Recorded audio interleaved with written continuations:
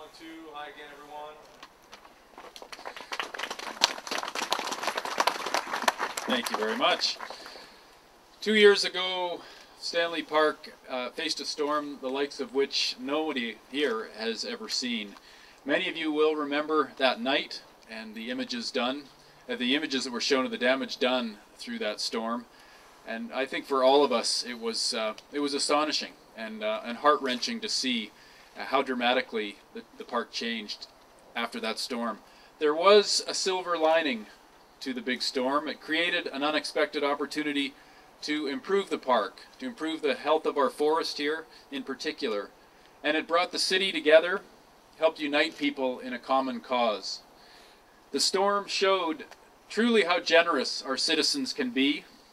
Millions and millions of dollars were raised by businesses, people in the community who felt such a strong connection to our iconic park, truly one of the world's great urban parks and, and the critical importance to our city to have this at its heart. I want to thank those in the community in particular for catalyzing this generosity.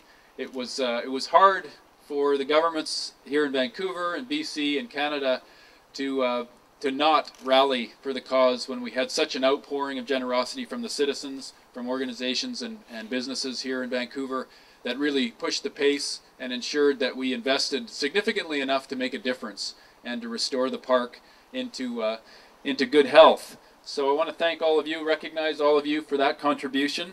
I'd also like to thank the previous Parks Board, uh, in particular uh, Park Board Chair uh, Ian Robertson for their leadership and the work and energy that they put into helping us get to where we are today. There were extraordinary efforts there, and I know the new Park Board is committed to carrying on that work.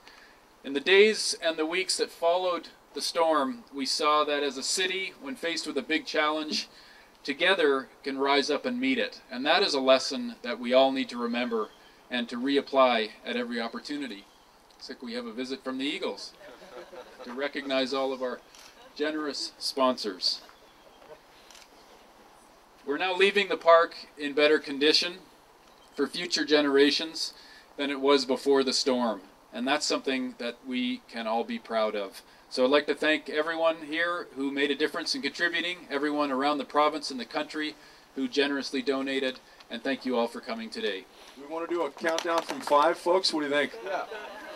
All right, join me.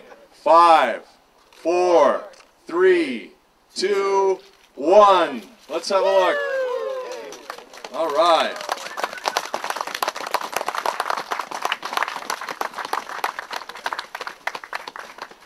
Thank you very much. Well done. That gaffer tape, well, I'll be able to reach the one here anyway, so I'll pull that down. But uh, uh, a beautiful and well done unveiling. Thank you very much, Mr. Mayor. That's perfect.